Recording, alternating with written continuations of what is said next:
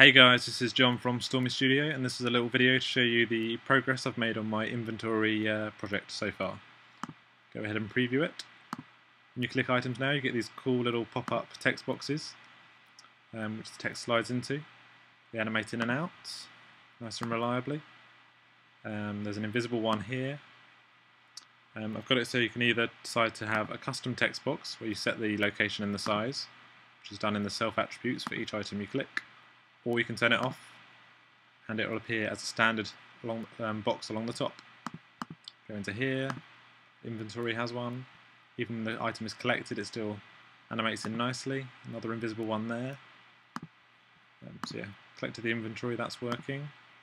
Collect some items, you found some potion, use the key, you've unlocked the door, and in we go. Um, so in here, again, that's just a standard one, so the custom box has been turned off. And then this is a custom one where you've set the size and position. Again, a custom one and a standard one. And you can um, set the rules up quickly to decide if you want to, or if you want to have the lines turning them on or off. So yeah, that all, all working very tidily. Right, um, quickly show you how quickly you can put together another scene, hopefully. Here we go, so brand new scene, scene 4. Um, first of all, we need a backdrop, so let's import some images. Uh, template images. Let's go for some salad, and here we come. Uh, okay, we'll just make a brand new actor out of that quickly. There we go, nice little backdrop. Um, and then we want a collectible inventory. We want the actual working inventory. Position it down here. Um, a collectible. Let's make that a uh, make that a tomato. Um, what else do we need? Uh, the text box actor and the line actor, which we can leave off the side. I think that's it. Just double check. Right, hopefully this is all going to work. So let's quickly go to the tables. Let's have a new, add a new uh, new table. Set the uh, display time. So we want that text to stay on screen for four seconds.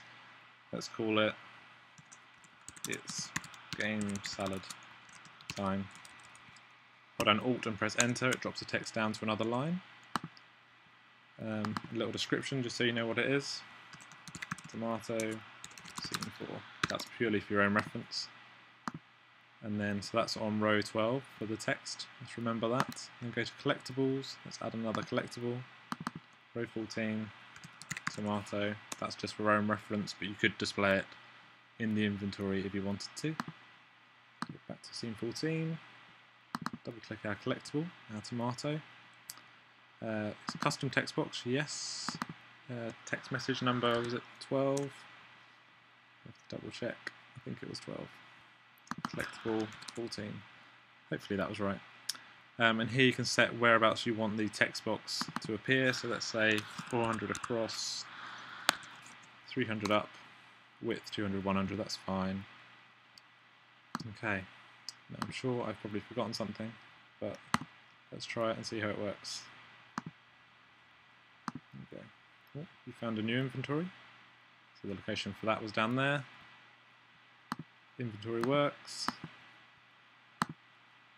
It's game salad time. Collected tomato. The layers are in slightly wrong order, but uh, yeah.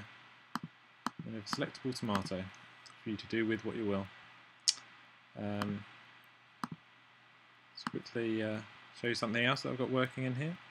So again, in that scene, preview, the inventory might go off screen on this, but let's try it out. If we go from iPad down to uh, iPhone landscape, um, we'll leave it at a letterbox for now. Collect the inventory, and because uh, it knows it's on an iPhone and not on an iPad, and to make it more legible, the text box is always along the top, and it uses a slightly larger font than if it was along the top and on an iPad. So let's uh, see that working on one of the other scenes. So again, iPad landscape down to iPhone landscape. We'll leave it on letterbox Um, and no matter which item you choose, you get the box along the top. And it might be that you don't want the line animating on, but again that can be set up very quickly with a quick change of a rule. And there we go. A dab hand at this point and click adventure. It's very tricky, but I always manage to solve it. There we go. We found a new inventory with five slots. Go back to iPad landscape and back out. And without even restarting the game, it knows to use a custom box for this one. And that one is set to always be a standard box either way. Cool. Hope you liking how it's turning out. Um, I'm going to try and think of something else to add to it before I start tackling a game or setting it up as a template. Cheers.